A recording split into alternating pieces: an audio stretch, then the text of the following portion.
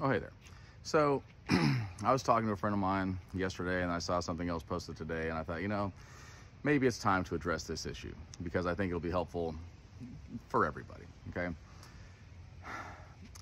Friend of mine called me complaining, saying, Look, all these people owe me all this money, and now I'm going through hardship, and, you know, they're not paying me back. And she goes, I could pay my truck off with the amount of money that's owed to me, not counting this money I've given or the help I've done, but just how much I've loaned to people. I could pay my truck off. I'm like, yeah, you're right.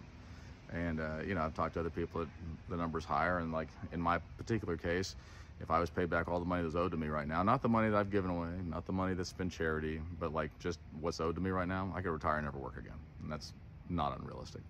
Now, I've come to the point in my personal life where I don't loan out any more money because, and my grandmother used to have a saying, why do you hate me? I haven't helped you yet. Okay, a lot of people, they're like your best friend when they need some money, right? Like, oh, buddy, friend, I'll do anything for you. I'll come, like, lick your shoes or whatever. I'm like, you know, that's unnecessary. And then, as soon as the money changes hand from my hand to their hand, then something magical happens and their phone breaks and it's they stop answering. Like I don't know if their phone breaks or what. And then every disaster in the world happens to them. Their hamster gets cancer or I don't even know what, but for some reason the two-day loan that they need is going to now stretch out to 5 years. Which of course is frustrating for me, right? I don't want it to chase you down. I don't want it to be mean to you, right? My friend decided to go the, the more harsh route. And I was like, that wisdom tells you not to do that. Nevertheless, Here's what I'm suggesting to you, okay? In Proverbs, the Bible says this If you return evil for good, evil will never leave your house, okay? I want to say that again for the people in the back. If you return evil for good, evil will never leave your house. Now, how does this apply to what I'm talking about? Somebody had mercy on you. Somebody sacrificed money that they could have kept for themselves, money that they worked hard for, to help you in a bad situation. Let me explain which side of the fence that lands on. That lands on the good side of the fence. They have done good for you. They helped you when you needed it. And if you return evil for that, by ignoring them, ghosting them, not paying them, villainizing them, and demonizing them for trying to get their own money back that you said you'd give back to them long ago, and they've been nothing but patient with you, evil will never leave your house. That's a harsh thing, okay? That's not us hating on you. That's God going, look, you got a debt, pay it. And until you do pay it, I'm going to curse what you do have. I'm going to make sure that you're not happy. You're not content.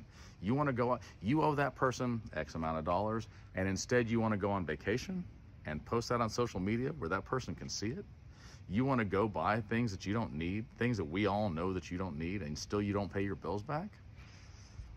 That's not good. That doesn't look good on you, okay? You're better than that. And so for me personally, I've come to the point where I'm like, look, I don't want to wish that pain upon you. I don't want you to be cursed. I don't want your phone to be broken. You need a phone that works. So I'm just not going to loan you any money. Sell something, hustle, have lower needs. Okay. That's a real thing. And stop borrowing money that you don't have.